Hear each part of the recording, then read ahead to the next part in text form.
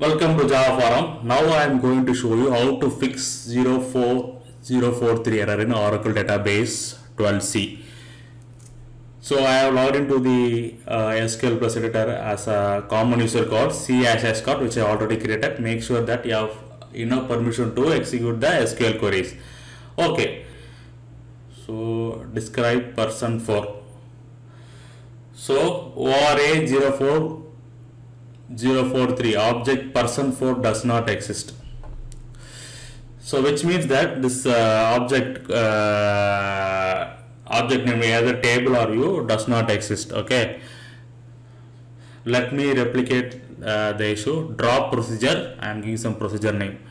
Drop procedure dummy. You can see that ora 04 043 object dummy does not exist. So this error is basically thrown when there is no table or no view or no uh, object no object or uh, uh, something like does not exist means this ORA 04 043 error will be thrown. So mention the correct object that is a fix